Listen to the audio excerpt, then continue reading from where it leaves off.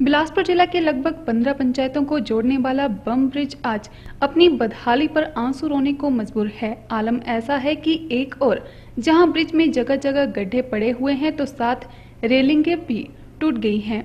आलम ऐसा है कि एक और जहाँ ब्रिज में जगह जगह गड्ढे पड़े हुए हैं तो साथ ही रेलिंगें भी टूट गई हैं, जिसके चलते कोई बड़ा हादसा पेश हो सकता है। वहीं ब्रिज की खस्ता हालत को लेकर स्थानीय ग्रामीणों ने प्रदेश सरकार व प्रशासन से ब्रिज की जल्द मुरम्मत करवाने की अपील की है तो वहीं लोक निर्माण विभाग के अधीक्षण अभियंता आर के वर्मा ने 16 लाख के बजट से जल्द ही पुल की मरम्मत किए जाने की बात कही है।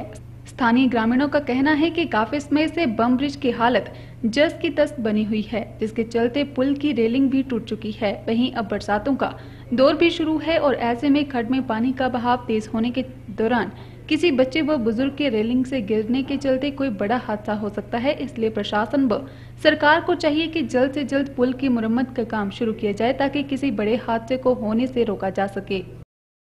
मैं इसी पंचायत से, माम पंचायत से संबंधित हूँ। तो ये जो पुल है, माम वाला पुल जो है, काफ़ी दिनों से इसकी खस्ता चली हुई है।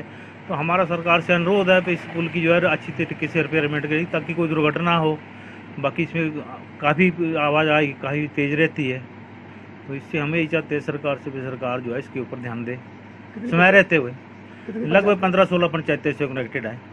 हाँ जी। तो आज आप देख ही रहे हैं भाई सारा टूटता है जैसा है वैसा ही इसकी हालत खस्ता ही है। सरकार से क्या अपील करेंगे? सरकार से तो हम ऐसी अपील करेंगे भाई बनाओ इस रोड को भी बनाओ हमारे इधर भी बहुत ज़्यादा खड्डे पड़े हैं और पुल की भी रिपेयर करो।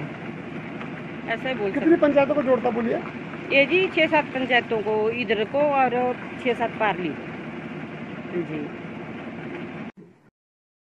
वहीं इस समस्या के बाबत जब लोक निर्माण विभाग बिलासपुर के अधीक्षण अभियंता आर के वर्मा से पूछा गया तो उन्होंने माना कि बम ब्रिज की हालत खस्ता है और जिससे आने वाले समय में लोगों को दिक्कत का सामना करना पड़ रहा है। साथ ही उन्होंने ब्रिज की जल्द मुरम्मत के लिए लगभग 16 लाख टेंडर पास करने और जल्द ही मुरम्मत कार्य शुरू करवाने की भी बात कही है ताकि आने वाले समय में स्थानीय ग्रामीणों को किसी भी तरह की कोई भी परेशानी का सामना न करना पड़े।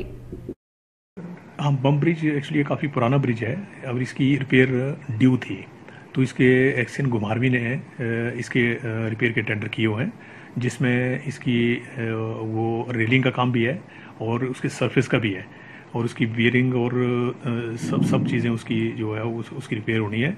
पार्टली उसकी रिपेयर हो भी चुकी है लेकिन कुछ जो काम बचा हुआ है से रेलिंग का और सरफेस का वो in due course of time में जो है वो हम इसको कर लेंगे ताकि ये पब्लिक मतलब गाड़ियों के लिए चलने के लिए ठीक हो जाए सर।